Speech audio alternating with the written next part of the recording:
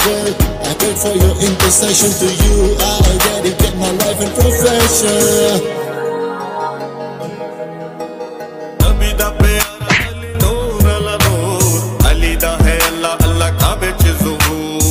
Limon